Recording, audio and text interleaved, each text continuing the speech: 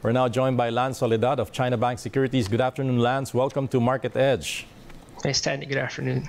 Yes, uh, through most of the day, we were hitting that immediate resistance and never really reaching the 6,500 level, which would have been the dream.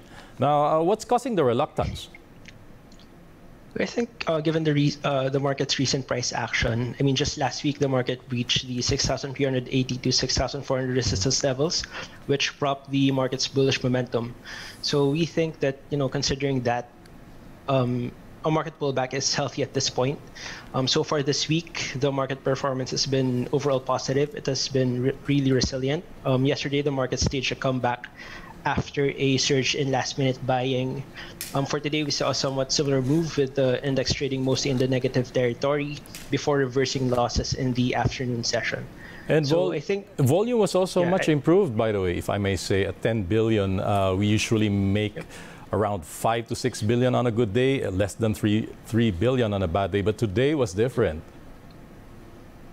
Yep. So I think, given that the comebacks are also backed by volumes, I think that's a good thing for the index. That the index is still trading above the 6,400 level. I think that should increase market confidence to accumulate near immediate support levels, um, which may also lead to a retest of the 6,600 resistance level eventually. Yes, we had important numbers uh, coming out today. How did data release influence the market? Our uh, second half GDP figures, which came out 7.4 was it within expectations? Were you expecting a slowdown? And what are your projections now for GDP growth for the rest of 2022? How much are we uh, closing with, you think? Um, so for the GDP's effect on the local market, as mentioned, um, the market stayed in the negative territory early in the session and trading has been relatively muted um, early in the session as well, as the GDP figure came within expectations. Um, however, the market today staged another comeback, which we think is a welcome, welcome development, as that again may increase market confidence to accumulate near support levels, and you know eventually, hopefully, be a stage for a continuation rally.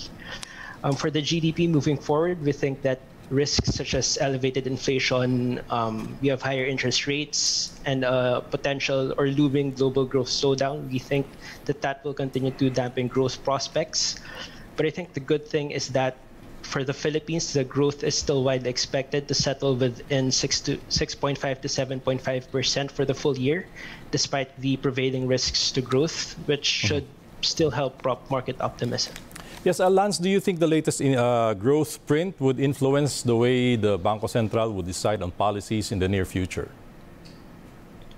Well, given that the BSP will uh, remain data dependent, I think the GDP performance will definitely be part of their consideration. And given the strong first half performance thus far with the continuing economic growth of the country, uh, we think that that should give the BSP room to raise rates as the economy remains robust, that it can still absorb um, the BSP's rate hikes.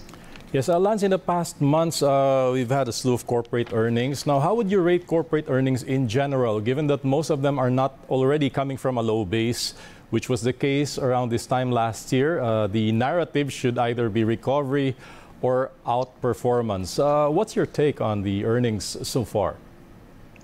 Well, corporate earnings have been resilient thus far. Um, we're seeing green shoots in terms of uh, consumer spending, um, consumer demand.